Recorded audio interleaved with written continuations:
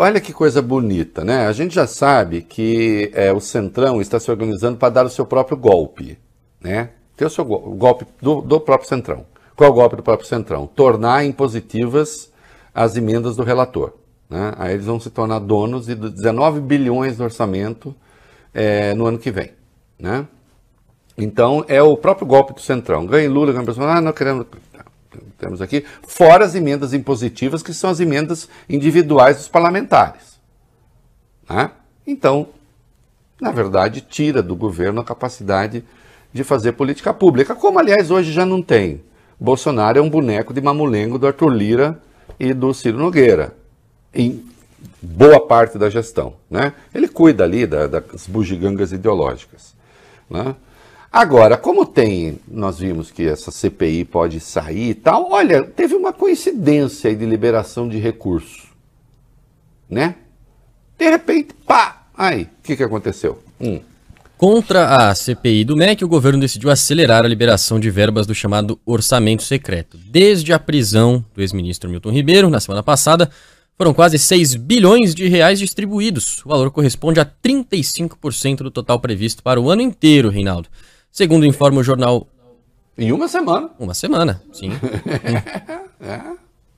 E, segundo informa o jornal o Globo, depois da prisão do ex-ministro, no dia 22 de junho, o governo fez duas grandes liberações de recursos. No dia 23, empenhou 1 bilhão e 700 milhões de reais e no dia seguinte, mais 1 bilhão e meio.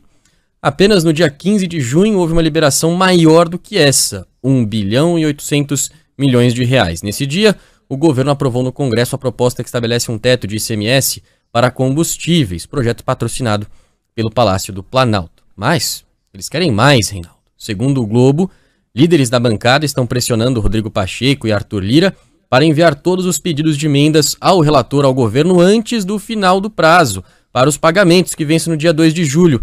A partir desta data, devido às eleições, a União não pode mais pagar emendas. Não, gente, é assim, nunca, insisto, nunca se viu nada parecido. E aí, outro dia reclamaram, porque eu disse que esse é o governo mais corrupto da história, né? Bolsonaro foi lá falar hoje do CNI que não há corrupção sistêmica. Não, esse é o governo mais corrupto da história. Porque com esses muitos bilhões se compra o parlamento inteiro, inteiro. Se compra o número necessário de parlamentares. Corrupção em sentido amplo. A corrupção ela mesma, essa que a gente está vendo no FNDE, enfim, uma esculhambação. E há esta outra corrupção, que corrupção é?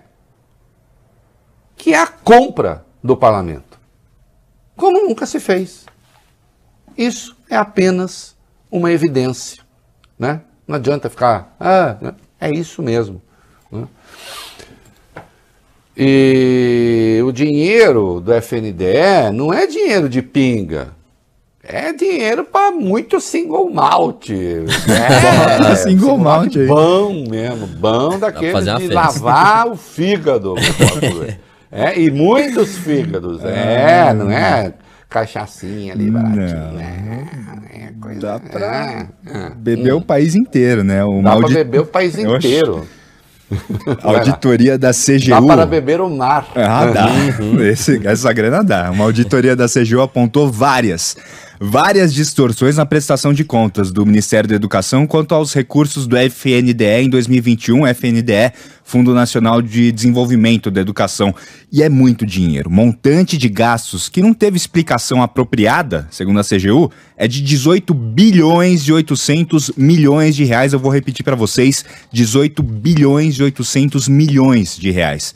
No relatório no detalhe de 63 páginas, a CGU apontou que o FNDE não está atualizando os financiamentos concedidos conforme as regras vigentes também deixou de fazer periodicamente o saldo dos financiamentos concedidos, não tem feito as cobranças dos financiamentos e também apresenta uma fragilidades na prestação de contas dos recursos repassados. Diante de tudo isso, o ministro da Educação, Victor Godoy, foi convocado hoje pela Comissão de Fiscalização Financeira e Controle da Câmara para dar explicações. Um grupo de deputados também pediu ao TCU que apure as divergências na prestação de contas do MEC.